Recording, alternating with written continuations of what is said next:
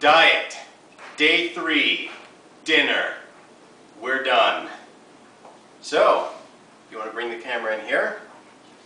If you manage to weather this perfect storm of cheese and crackers, you are rewarded with the final meal of the day.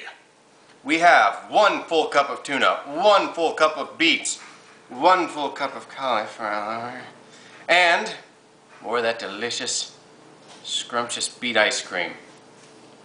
So, so, oh, and before I forget, yeah, cantaloupe.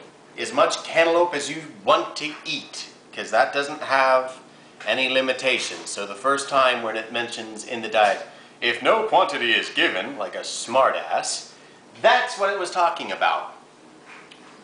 So yeah, this is going to be the end of the diet videos, and let me know what you guys think. Should I upload more videos? Maybe try some demos in my suit and stuff? Do I want to show it off in the coming months to Megaplex? Do you want to see me taking dance lessons? And again, to everybody who is watching this, thank you. Whether you know me as Juicy Fruit, the low budget Fonzie, or The Apprentice 225, or just plain and simply Caleb. I'm really glad you guys took the time to tune in.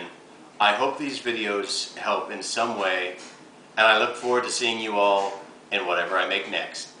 Catch you later. Fonz, out!